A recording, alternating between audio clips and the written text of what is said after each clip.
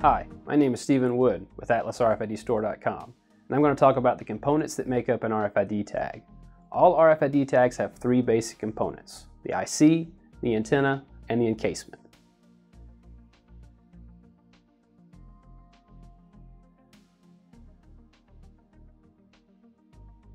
The IC, or integrated circuit, is typically the size of a pinhead and holds all the tag's data.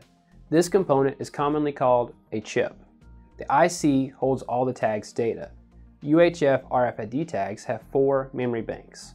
The first one, EPC, which stands for Electronic Product Code. The second one is the user memory. The TID, which stands for Tag Identifier, is the third memory bank. And finally, the fourth is the reserve memory bank.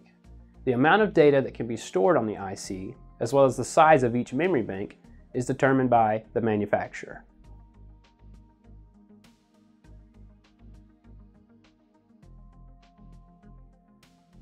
The second component is the encasement or face.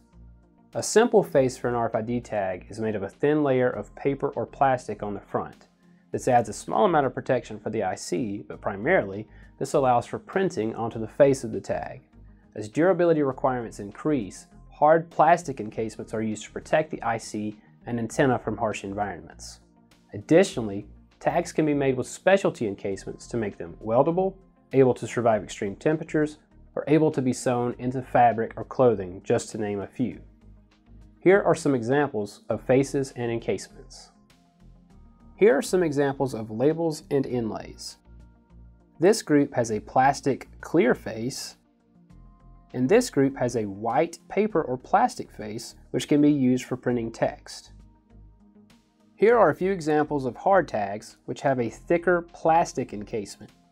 These tags are more durable than labels and inlays. For instance, some tags are water resistant, dust resistant, impact resistant, or generally better suited for harsh environments. These tags are made with a specialty encasement that are typically developed for specific applications, harsh environments, or for specialized mounting abilities. For example, this is a hang tag that can be hung from a vehicle's rearview mirror instead of being adhered. This is a laundry tag that can be adhered to clothing and is designed to withstand the high temperatures during the laundering process. And this is an embeddable tag that can be embedded into items for a more secure hold.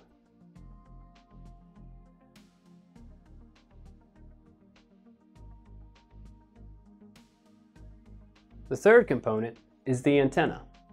The tag's antenna allows for communication with the RFID system by receiving and sending signals via RF waves. The tag's antenna is made from metal or metal-based material. Usually, UHF tag antennas have a dipole or two-pole design as opposed to the coil shape associated with HF and LF tag antennas. Thanks for watching this video about the components that make up an RFID tag.